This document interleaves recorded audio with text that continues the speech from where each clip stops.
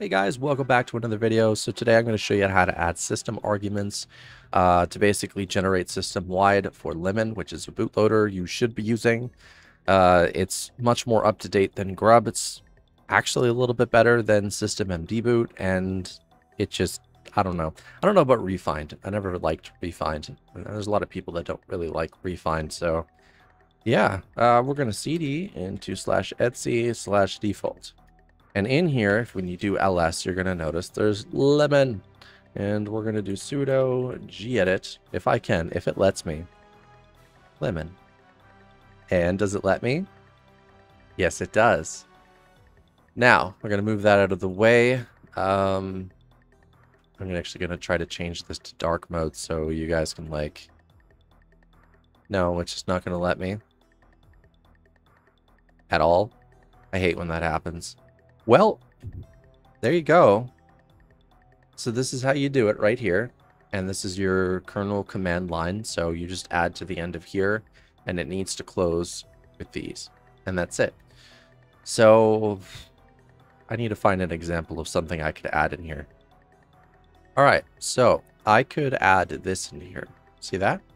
This allows me to use whatever I want on my motherboard and separate them into their own individual groups, which means that I could use VMs and stuff to basically um, input NVMEs, separate USB drives, graphic cards, things like that.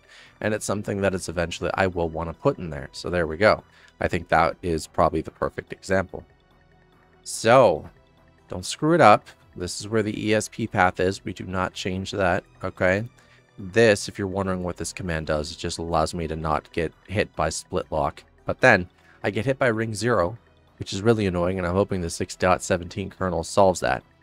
So when a new kernel automatically installs, by the way, I'm going to end up saving that. Thank you. What's going to happen is it's going to take from that path, and it's basically going to go into boot right here. Enter our passwords. There we go. And it's going to create this. So as you can see right now, it's not passed over. So if I actually opened up the terminal, or at least took another terminal, and I did sudo make init dash p uh, linux. Oh, actually, this should be enough, right? Yes. There we go. As you can see, it updated successfully. And I don't know if it did or not. It should have. It's supposed to. uh, that's always the fun of it, isn't it, though? Or it's supposed to do something. But you don't know if it's going to do it or not. There it is. It actually successfully updated it. That's very nice. I, uh, I do very enjoy the fact that it did. Everything is correct. There's no odd spacing that's where it would end up going. All right, so that's pretty easy to deal with. And another thing is, if you have any issues with the arguments that you added during boot up time, you should be able to essentially edit any line that you added out by, I don't know, I don't know uh, what button it would be for this, but it'd probably be E or something. There should be an option to do that. And you could just revert anything that you need to. So there you go.